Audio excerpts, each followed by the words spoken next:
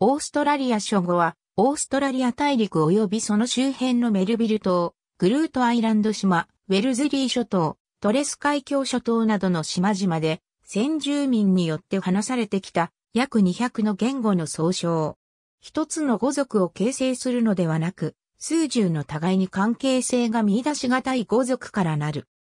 すでに消滅したタスマニア諸語は、資料が乏しく、オーストラリア諸語との関係は明らかでない。音韻的な類型などから、タスマニア諸語、パプア諸語、大アンダマン語族と合わせて、インド、太平洋大語族を形成するという説がある。かつては600から750程度の言語の存在が知られていたが、現在話されているのは、北部準州内陸部を中心に分布する200程度の言語である。17万人ほどのアボリジニ人口のうち、これらを母語として話せるのは4万7千人程度である。話者数が1000人に達する言語は、パマニュンガン語族に属するアリャワラ語、アランダ語、カララガウヤ語、ンガーニャチャラ語、ピチャンチャチャラ語、ワルマジャリ語、及びワルピリ語、孤立言語のティウィ語、並びに、グンウィングアン語族に属するエニンディリャグワ語、グンウィング語が知られている。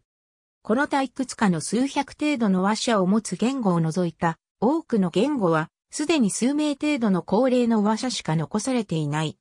パマニュンガン語族に属する言語の話者数が多いのは、北部準州以外の地域で話者数の減少が著しかったためである。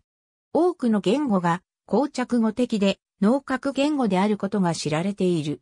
また、二進数ないし三進数の数詞を持つ言語が多く、このため、アボリジニは3より多い数を数えられないと言われることがあるが、これは誤りである。オーストラリア諸語の語族ニュルニュラン語族オロラン語族、ブナワン語族、ジェラガン語族マーンディデイリー語族、ワギマン語オーデマン語ティウィ語ダーウィンレギオン、イワイジャン語族ギーンビュー語アーネムガラワン及び、タンキッチパマニュンガン語族言語の分類は次のようになされる。上位分類から順に、語族、語派、語群となる。和紙語を表す。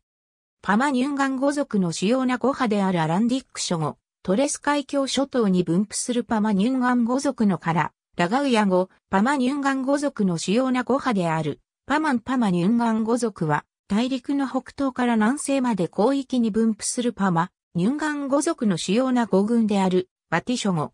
ありがとうございます。